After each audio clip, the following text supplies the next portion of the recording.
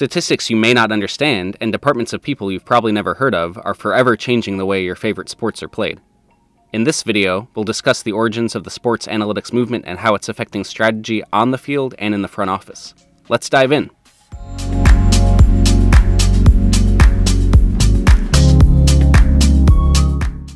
Analytics.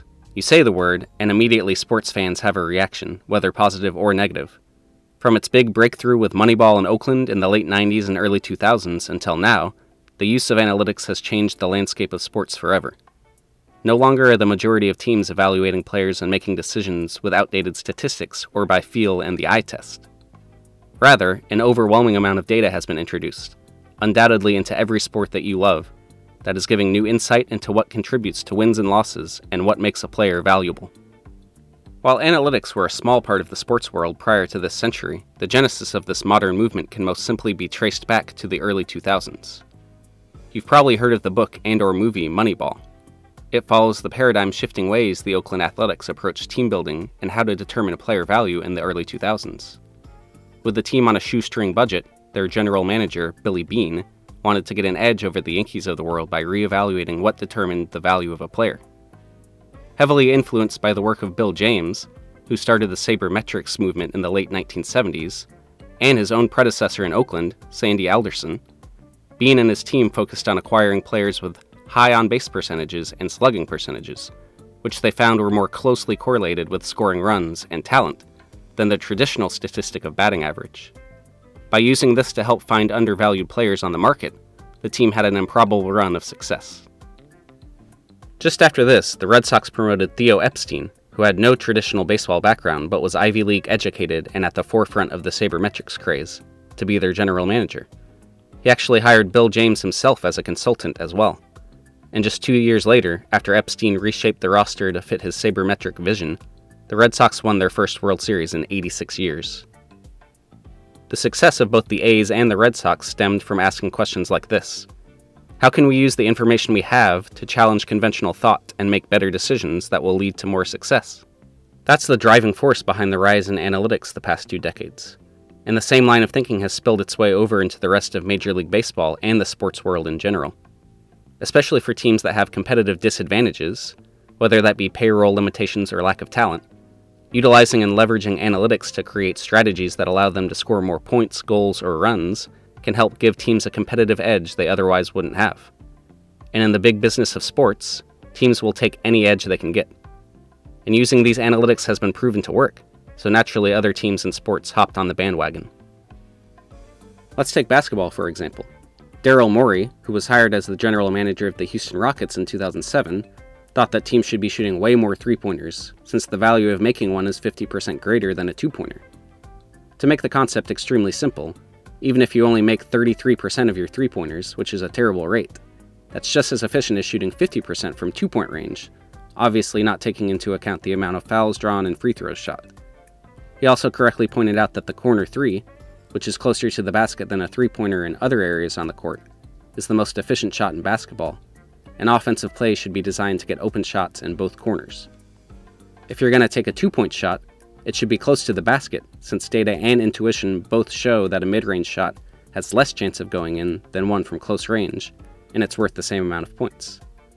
This is pretty rudimentary analytics, but it hadn't been explored until Morey brought it to the table. The Rockets' success with this strategy, as well as the Warriors taking over the league with arguably the best three point shooting teams of all time, has effectively killed the mid range jumper and changed basketball as we know it forever. In recent years, analytics have started to make their way to football as well. To simplify something that has been obvious in all the work done in football analytics, I'll just say this. Taking a look at historical data shows that passing the football is almost always more efficient and effective than running the football, even when taking into account things like position on the field, down and distance, and potential for turnovers. Just think about it this way the worst qualifying quarterback last season in yards per pass attempt was Nick Foles with 5.9 yards per attempt. The best running back last year in terms of yards per rush was J.K. Dobbins with 5.8 yards per attempt.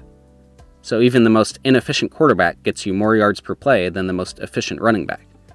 Of course, there's caveats about keeping the defense off balance and not throwing when there's five guys in the box, but still. There's also research that shows that play action passes have similar rates of success whether you're having success running the ball or not which goes against the common trope of establishing the run early to let the play action work later. And these analytics are changing strategy in the NFL. Passing rates continue to climb to all time highs. So again, conventional wisdom is being challenged, and the games we love are changing on the field as a result of work being done with analytics. If you notice, a lot of the uses of analytics that we immediately think of are in relation to on field strategy. Shoot the three more in basketball, try to hit the ball farther in golf, hit the ball in the air in baseball, throw the ball more in football. The numbers show these strategies will all be more productive than the alternatives in the long run. These are changes to sports directly attributable to the rise of analytics, and they have an effect on the product we see on the field. But the genesis of the analytical movement in the early 2000s, as we talked about with Billy Beane and the A's, was more about determining player value and trying to get an edge over the competition in player evaluations and team building. That's the other side of analytics that isn't as much in the public eye. It stems from the question that so many teams across all sports want to answer What information predicts future value and future success? And analytics are used this way every day in the sports world. In baseball, many statistics that build off basic box score stats, like fielding independent pitching and batting average on balls in play, have been created to help separate skill from what is seen as luck. If someone has a hot month, either pitching or hitting, you may be able to tell, based on these underlying stats, that it's all smoke and mirrors, and that the player will come back down to earth soon. These type of stats help separate the emotion from watching a player go on a hot streak and help you be able to tell objectively if he's actually performing any better than normal or if it's just a statistical anomaly. But the majority of information coming to teams across the world that's helping quantify talent and value is from player and ball tracking systems. These systems track player position and ball position to help quantify what we see with our eyes. With this information, teams can more accurately measure the true talent and value of a player, isolated from specific situations and the quality of competition they're going against. For instance, in the NBA, a system called SportVU is used to measure players' positions on the floor at a rate of 24 times per second. It can track player speed throughout a game, separation between the shooter and defender when the shot is released, and much more. This system can show teams that a player that is making a high percentage of his shots may just be getting a lot of open looks, which naturally have a higher success percentage. If defenders start to close on him quicker, he may not be able to keep up his high percentage. Also, someone with a similar make percentage may be a more talented shooter because he's taking and making more difficult shots. In the NFL, player tracking gives us a ton of great info. Using player tracking technology, ESPN's Next Gen Stats can tell us how far away defenders are from running backs at various points in their rushes. Comparing that to the NFL average and crunching a lot of numbers, we can get a number called expected rushing yards. This helps us find exactly how many yards the average running back would gain in a certain situation, based on the blocking and position of defenders. If a running back gets more than average, presumably this means he's an above average running back, even if his basic stats don't look great. This helps separate the player and his talent from the situations his teammates put him in. Finally, MLB's StatCast is one of the leaders in publicly consumable player tracking data. It provides a ton of fun stats like max sprint speed, expected batting average, expected catch probability, and more. Let's say someone hits the ball at 110 miles per hour at a launch angle of 25 degrees, but it gets caught for an out. A fan watching would probably say, Man, that ball was hit hard, he just got unlucky. With StatCast, we're able to quantify just how unlucky he got by seeing what the expected batting average for the out was.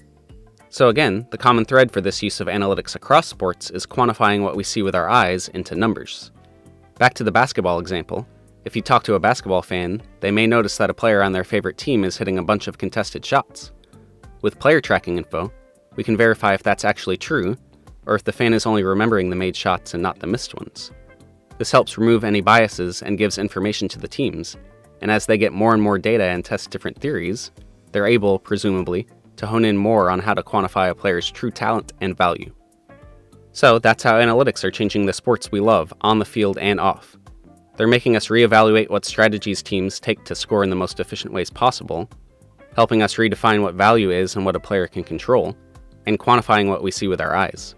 While people may not like the removal of feel and instinct that comes with quantifying everything with numbers, analytics' effects on sports is undeniable. One more thing before we go. Do you think the result of analytics' effects on the field is fun to watch? I've already covered this in our previous baseball video, but for some sports, it's kind of ruining the aesthetics of the game. Baseball is as boring as it's ever been, largely thanks to the changes brought about by findings from analytics. On the other hand, football is as exciting as it's ever been, as more and more teams decide to pass the ball more and go for it on fourth down at a higher rate. So it's kind of a mixed bag. If you want to hear more discussion about this, we'll get into it more next week on Double Take, so keep an eye out for that and ring the bell to get notified when that video drops. But for now, what do you think about analytics in sports? Do you love them? Do you hate them? Leave a like and a comment either way to let us know how you feel, and we'll be sure to respond. Until next time, we'll see you.